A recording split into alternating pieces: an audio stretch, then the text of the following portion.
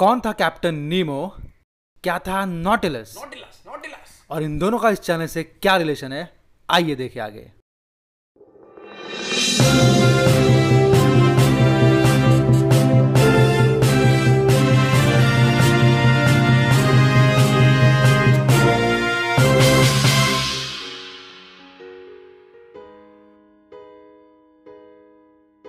तो दोस्तों, चैनल का इंट्रो वीडियो देखकर आप लोगों को ये तो समझ आ ही गया होगा कि यार इस नोटिलस का हमारे चैनल से कोई ना कोई संबंध ज़रूर है। अब इस वीडियो में हम, यानी कि आप और मैं, बहुत ही सारी इंटरेस्टिंग टॉपिक्स के बारे में बातें करने वाले हैं। जैसे कि Nautilus Captain Nemo Jules Verne Atlantis South Pole Greek mythology Odysseus और बहुत कुछ। अब इन चीज़ों के बारे में आप लोगों ने कभी ना कभी तो सुना ही होगा। इन नामों को सुनते ही आपके दिमाग में भी कोई ना कोई तार तो छिड़ी ही होगी।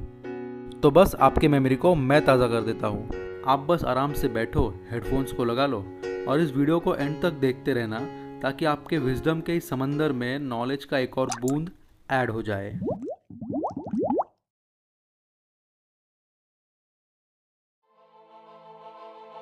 तो दोस्तों नॉटिलस के बारे में जानने से पहले हमें कैप्टन नीमो कौन था, ये जानना बहुत ज़रूरी है। क्योंकि कैप्टन नीमो के बारे में जानने के बाद ही हम समझ पाएँगे कि नॉटिलस क्या था। अब ऐसा समझ लो कि दिल और धड़कन की तरह कैप्टन नीमो और नोटलिस भी एक दूसरे के साथ जुड़े हुए हैं। तो अब हम स्टार्ट करते हैं कैप्टन नीमो से। तो दोस्तों कैप्टन नीमो एक फिक्शनल कैरेक्टर है जिसे क्रिएट किया था फ्रेंच नॉवलिस्ट जूल्स वर्न ने। वर्न ने अपने दो बहुत ही मशहूर साइंस फिक्शन क्लासिक्स में कैप्टन नीमो को अपने एक मुख्य किरदार के रूप में पेश किया था। क्लासिक साइंस फिक्शन नॉवेल्स जिनका नाम था 20,000 लीग्स अंडर द सी जो 1870 में आई थी और द मिस्टीरियस आइलैंड जो 1875 में आई थी। नीमो का किरदार एडवेंचर जगत में इतना मशहूर हुआ कि 1982 में एक और novel I journey through the impossible 20,000 leagues under the sea इस नावल में जो तीन मुख्य किरदार हैं उनका सामना एक समुद्री दैत्य से हो जाता है। उस सी मॉन्स्टर से लड़ते लड़ते जब ये लोग समंदर की तरफ़ खींचे चले जाते हैं तभी अचानक से एक समुद्री तूफ़ान चला आता है। जब तूफ़ान शांत हो जाता है तब उन तीनों को यह समझ आता है कि वो सी मॉन्स्टर असल में एक फ्यूचरिस्टिक सबमरीन है। उन तीनों को कैप्चर करके अंदर लिया जाता है।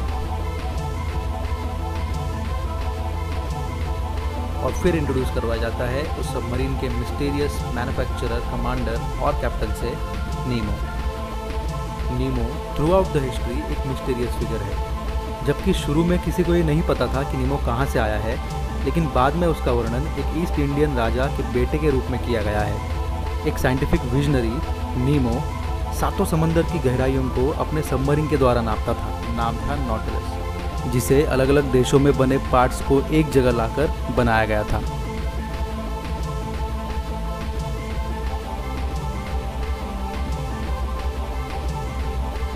नीमो एक लैटिन शब्द है, जिसका इंग्लिश में मतलब होता है कि नो वन या नो बड़ी। जबकि नीमो एक लैटिन वर्ड है ये खुद ट्रांसलेशन है एक एंशियन ग्रीक वर्ड का जिसका नाम है ऊटिस। ऊटिस और नीमो इन दोनों शब्दों का सेम मीनिंग है यानी कि कोई नहीं। ग्रीक माइथोलॉजी में ओडिसिस एक एंशियंट हीरो है जिसने साइक्लॉप्स पॉलिफेमिस को मारा था। साइक्लॉप्स एक आँख वाले दानव होते हैं। अपने सफ़र के दौरान जब ऑडिसिस को इस साइक्लॉप्स के बारे में पता चला तो उसे मारने के लिए कोई ना कोई चाल चलना ज़रूरी था। ऐसे में ऑडिसिस को एक तरकीब सूझी।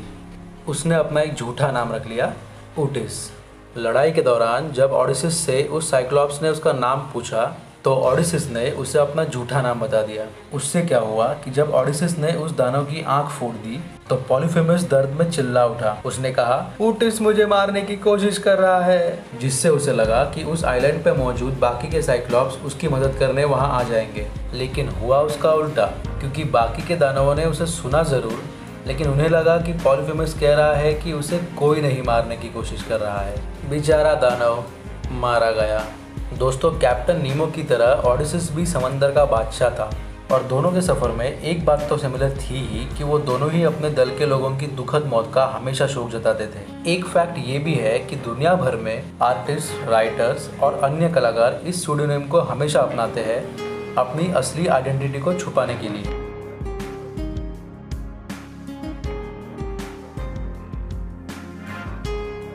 Biography of the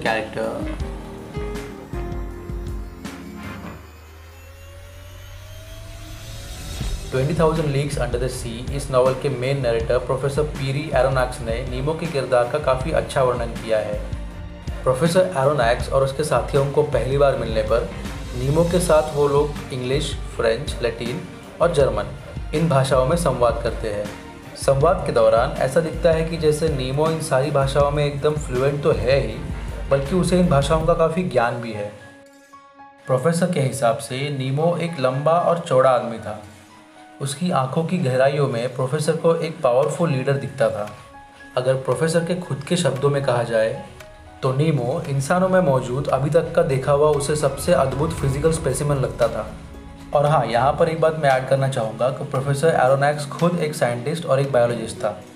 the mysterious island में नीमो अपने उम्र के 60 साल तक पहुँच गया था और लंबी सफ़ेद दाढ़ी रखता था। 20,000 लीग्स अंडर द सी इस नावल में नीमो के इतिहास के बारे में जो लिखा गया है, उसके मुताबिक, उसे ब्रिटिश एम्पायर और उसके साम्राज्यवादी सोच से सख्त नफरत थी। द मिस्टीरियस आइलैंड इस नावल के हिसाब से कैप्टन नीमो को भारत में प्रिंस डकार इस नाम से जाना जाता था। वो बुंदेलखंड के एक हिंदू सिख राजा का बेटा और किंगडम ऑफ़ मैसूर का मुस्लिम सुल्तान फतेह अली खान, सुल्तान टीपू, उसका वंशज था। 1857 के इंडियन रिबेलियन के बाद, जिसमें प्रिंस डकार ने अपना राज्य और अपनी फैमिली दोनों को खो दिया था। उसने अपने आप को साइंटिफिक रिसर्च करने के लिए समर्पित कर दिया। और आखिरकार उस नोटिलस को बनाया, जिसमें बैठकर वो अपने क्रू के साथ दुनिया की सैर करने निकल गया। खुद ही खुद को अपने राज्य से दूर करने वाले आदमी के पास अब डुअल मोटिवेशन थी। साइंटिफिक नॉलेज की खोज करना और ब्रिटिश एम्पायर जैसी साम्राज्यवादी सोच को ख़त्म करना। उस सदी के बहुत सारे राजकुमारों की तरह नीमो ने भी वेस्टर्न एजुकेशन प्राप्त की थी, जिसके दौरान उसने सारे यूरोप का टूर और उसका स्टडी किया था।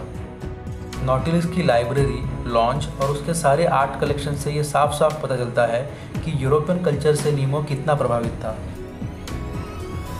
दोस्तों, प्रोफेसर एरोनैक्स ने एटलांटिस की खोज का श्रेय भी कैप्टन नीमो को ही दिया था। अब अगर मैं एटलांटिस के बारे में बोलना चालू कर दूँ तो फिर हमें ये वीडियो कम पड़ जाएगा। तो बेहतर यही होगा कि एटलांटिस के टॉपिक को फ़िलहाल पीछे छोड़ते हुए हम अपनी कहानी को लेकर आगे बढ़ते हैं।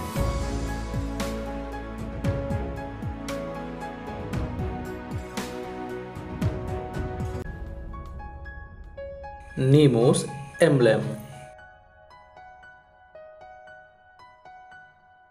अपने घर को छोड़ने पर और समंदर की सफ़र में निकलने के बाद नीमो ने कभी भी ऐसे ज़मीन पर पैर नहीं रखे जहाँ इंसानी सभ्यताएँ बसती हो। वो सरफेस सिविलाइजेशन से हमेशा दूर भागता था। और इसीलिए एक दिन नीमो एंटार्क्टिका पहुँच गया और वहाँ पहुंचकर नोटिलस और उसके क्रू ने साउथ पोल को भी क्लेम कर लिया। अगर हम मिथ्स और लेजेंड्स की माने तो जब नीमो ने अंटार्कटिका में स्थित साउथ पोल को क्लेम किया, तब उसने वहाँ पर एक फ्लैग को लहराया।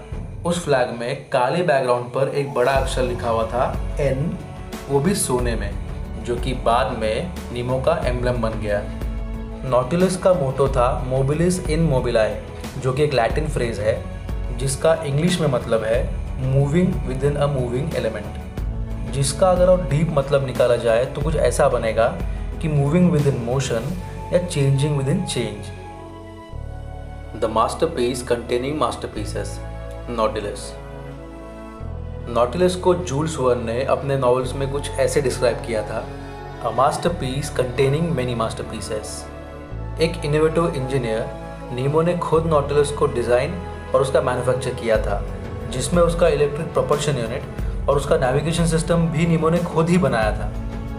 अपने एक्स्ट्रा स्किल्स के साथ इन टेक्नोलॉजी का उपयोग करके ही नीमो समंदर के सबसे कठिन अंडर वाटर पैसेजेस को क्रॉस करता था। तभी तो एंटार्क्टिक आइस बैरियर के नीचे से गुजरकर वो साउथ पोल तक पहुँच गया। नॉटिलस की एक और ख़ास बात ये थी कि उसमें नीमो ने फ्लडेबल टैंक्स डिज़ाइन किए हुए थे, जो उसकी डेप्थ को कंट्रोल करते थे। मतलब डीप सी एक्सप्लोर करते वक्त, नॉटिलस का वज़न इन फ्लडेबल टैंक्स के अंदर अचानक पानी भर जाने की वजह से अपने आप बढ़ जाता था। अब पानी के अंदर अचानक वज़न बढ़ जाने से क्या होगा, ये तो आपको पता ही है। लेकिन मज़ा यहाँ ख़त्म नहीं होता, दोस्तों। नीमो ने जो पंप्स लगा रखे थे नोटिलिस के अंदर, वो इतने पावरफुल थे कि इन टैंक्स को पलक झपकते ही खाली कर देते थे, जिससे नोटिलिस को एक तेज शार्क की तरह समंदर की गहराइयों से पानी की सतह तक आसानी से लेके आ सकते थे। नोटिलिस में मौजूद इस टेक्निक की वजह से बहुत से ऑब्जर्वर्स को इसे देखकर ऐसा लगता था कि ये एक बहुत बड़ा वेल है, या शायद कोई ऐसा सी मॉन्स्टर है जिसे उस वक्त का साइंस भी नहीं समझ पाता था। नीमो अपने क्रू के साथ बहुत ही लगाव रखता था और ये उसने खास तौर पे तब जताया जब कैरिबियन सी में उसका सामना एक बड़े से क्रैकन के साथ हुआ। उसमें नोटिलस के क्रू के काफ़ी सदस्य मारे भी गए थे। उसके बाद नीमो ने खुद चुन चुन कर अपने क्रू को फिर से बनाया। नीमो सच में एक पॉलीगॉट था, जो कि नोटिलस की वास्ट लाइब्रेरी में रखे हर एक किताब को पढ़ चुका था, चाहे उसकी भाषा कोई भी हो। नोटिलस की लाइब्रेरी को पहली बार देखकर प्रोफेसर एरोनैक्स ने एक ही बात कही, जिसको मैं कोट करना चाहता हूँ। No museum in Europe has such a collection of exhibits that Nautilus has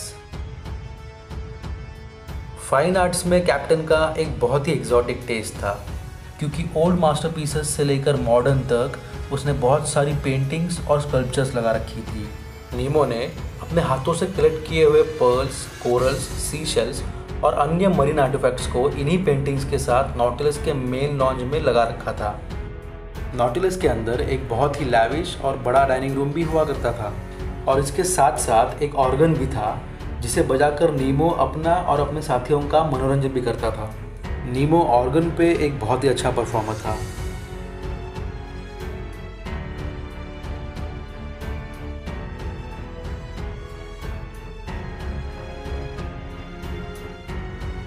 नीमोस death Nautilus के अंदर ही नीमो ने अपनी आखिरी सांस ली थी। मरते समय नीमो ने अपनी असली पहचान अपने क्रू के सामने रखी थी और उसने उन्हें वो सारी कहानियाँ बताई कि कैसे एक lost Indian prince Dakkar captain Nemo बन गया। नीमो के फाइनल वर्ड्स थे God and my country captain Nemo के मरने के बाद सीरियस स्मिथ जो नीमो के दल का लीडर भी था जिसकी जान नीमो ने खुद एक समय दुश्मनों से बचाई थी। उसने उनकी अंतिम विदाई भी की थी। द मिस्टीरियस आइलैंड के एक गुफा के अंदर, जिसका नाम नॉटलिस के क्रू ने बाद में द डकार ग्रोटो रख दिया था, उसमें नोटिलस को परमानेंटली डॉक करके रख दिया गया और फिर नोटिलस को डकार ग्रोटो के गहराइयों में हमेशा के लिए छुपा दिया। हालाँकि नोटिलस का अंतिम फेट अभी भी एक राज ही है। तो अब दोस्तों, हमारे इस वीडियो के थ्रू आपके अपने विजडम के समंदर में नॉलेज का जो बूंद है, छोटा ही सही ऐड हो चुका है। जिसमें आपने देखा कि किस तरह नीमो ने अपने नोटिलस के साथ अलग अलग लेजेंडरी एक्सपीरियंसेस को एक्सप्लोर किया था। बिल्कुल वैसे ही हमारा ये चैनल काफ़ी कुछ एक्सप्लोर करने की सोच में है। नाम है नॉटलस पीसी